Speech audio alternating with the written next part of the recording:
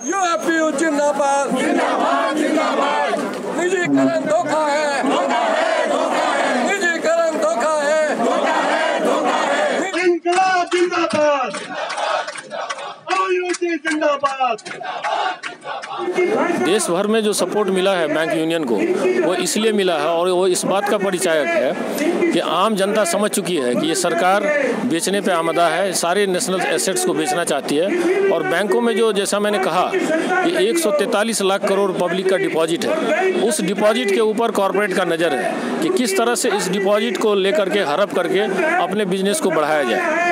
और इसीलिए सरकार भी निजीकरण चाह रही है ताकि अपने कॉरपोरेट मित्रों को वो 145 लाख करोड़ जो हार्ड ओन्ड मनी है गरीबों का आम जनता का मिडिल क्लास का उसको किस तरह से लुटाया जाए? सर देखिए किसी भी एक सेक्टर को प्राइवेटाइजेशन से नुकसान नहीं है। प्राइवेटाइजेशन से नुकसान पूरे देश को है। हर कोई परेशान है हर सेक्टर परेशान है। तो इसका विरोध तो होना बिल्कुल सही है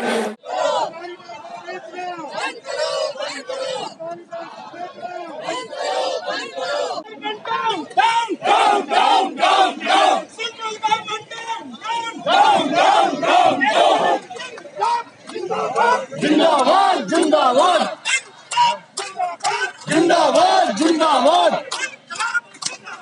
जिंदाबाद जिंदाबाद सरकार को जब भी कोई सरकारी नीतियाँ इंप्लीमेंट करनी है, लोगों को सुविधाएँ पहुंचानी है तो सबसे पहले सरकारी बैंकों के ऊपर ये लोग टारगेट्स डालते हैं कि सरकारी बैंकें ये करेंगे। आप डिमोनेटाइजेशन के टाइम में आपको स्थितियाँ पता है कि किस तरह से स्थिति रही थी। हम लोगों ने तब भी फुल फुल डे काम लोगों ने काम किया है। रात को बारह बारह बजे तक हम लोग ब्रांचेज में रह के काम किया कौन सी प्राइवेट बैंक ने किया?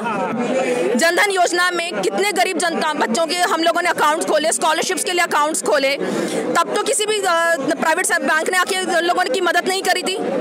जब एलपीजी सब्सिडी का आया, आधार सेंटर्स आप देख लीजिए, कौन सी प्राइवेट बैंक इनका काम करके दे रही है? जब सारी काम आप अपना सरकारी बैंकों से करवा रहे हो, फिर आप उन्हीं को बंद कर दोगे तो सरकार खुद खुद गर्द में जाएगी।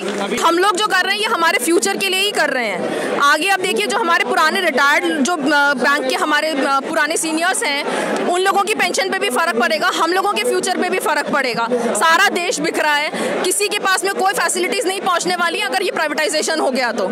इतनी गरीब जनता है हमारे देश में, सब लोग सारी सुविधाओं से महरूम रह जाएँगे। गवर्नमेंट ऑफ़ इंडिया को प्राइवेटाइजेशन की ज़रूरत थी। तो फिर इसको नेशनलाइज करने की ज़रूरत क्या थी?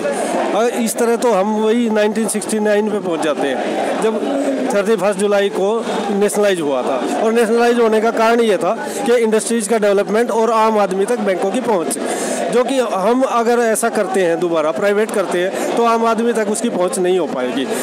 तकरीबन हमारे पूरे इंडस्ट्रीज़ में 10 लाख बैंक कर्मचारी है, जो प्राइवेट बैंक्स में भी हैं और सरकारी बैंक में भी हैं। आपको ये जान के आश्चर्य होगा कि पहली बार एक भी ब्रांचेज चाहे वो प्राइवेट की हो, चाहे सरकारी की हो, नहीं खुली है। और सभी जगह हड़ताल 100 परसेंट हड़ताल है। लोगों के अंदर रोष है, लोगों के अंदर गुस्सा है कि सरकार की ये जो नीति है, ये कहीं ना कहीं राष्ट्र विरोधी नीति भी है, जन विरोधी नीति भी है और कर्मचारी विरोधी नीति भी। है लॉकडाउन का अगर आप एक सीन देखें तो सारी ऑर्गेनाइजेशन बंद थी सिर्फ़ हॉस्पिटल्स और पुलिस वाले और बैंक्स बैंक्स एक दिन के लिए बंद नहीं हुए डेली बेसिस पे आके हम लोगों ने नाइन टू फाइव काम किया है। और उसके बाद मोदी जी बोल रहे हैं कि गवर्नमेंट बैंक कुछ यूटिलाइजेशन नहीं दे रही है कुछ काम नहीं कर रही है जो बहुत गलत है। जब हम बैंक न खोलेंगे